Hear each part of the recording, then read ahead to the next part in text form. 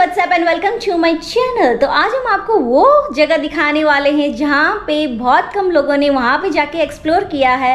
Yes yes, guys और उस जगह का नाम है Palampur which is in Himachal Pradesh got it guys Palampur नाम सुन के एक मूवी का नाम ज़रूर याद आया होगा। उस मूवी का नाम है movie Raja Hindustani which is of Aamir Khan and Karisma Kapoor.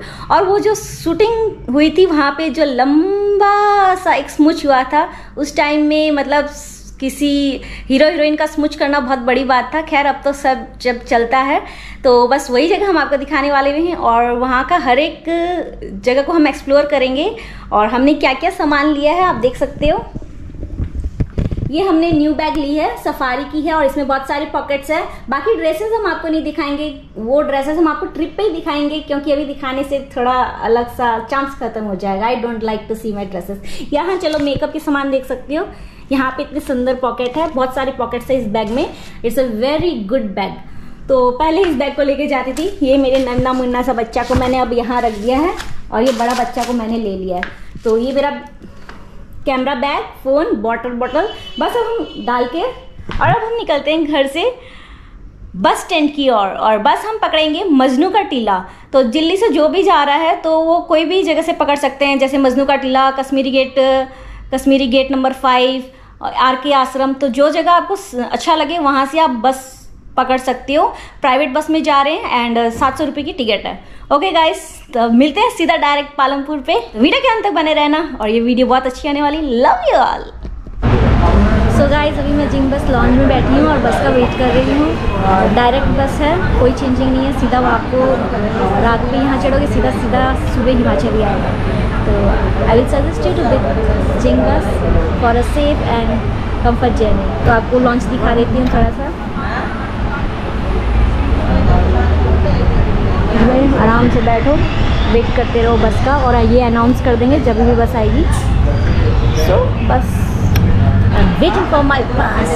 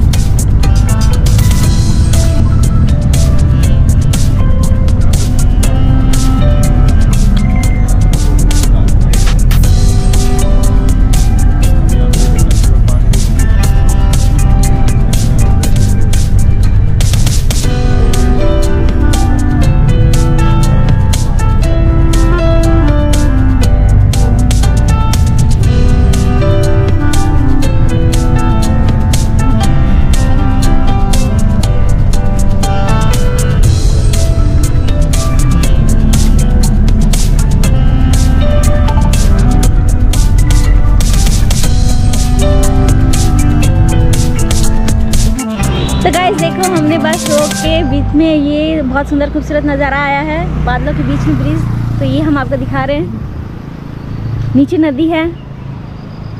नीचे गौर से देखो, नदी है। नदी के ऊपर बादल है, बादल के ऊपर ब्रिज है। ये नज़ारा देखो गाइस बहुत ही खूबसूरत नज़ारा है।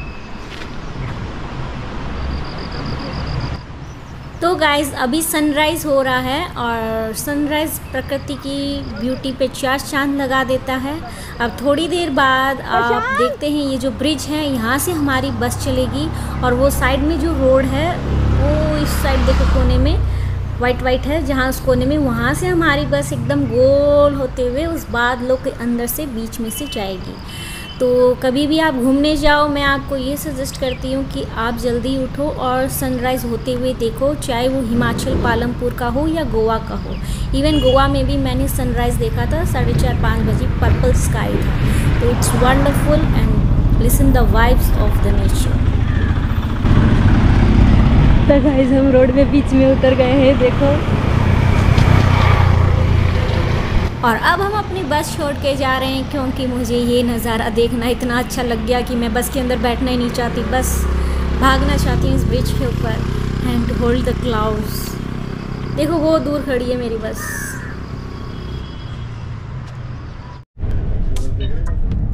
तो गाइज़ मैं तो फ़ोटो शूट करने के लिए ब्रिज के ऊपर भाग गई थी क्लाउड्स को पकड़ने के लिए। फिर बस आई दौड़ के मेरे पीछे। मुझे बोला, ओ हीरोइन ओ हीरोइन कहाँ भाग रही है, कहाँ उड़ रही है? चुपचाप चढ़ बस के ऊपर। नौटंकी नहीं। तो फिर कैसे ही करके मुझे वापस बस पे चढ़ना पड़ा।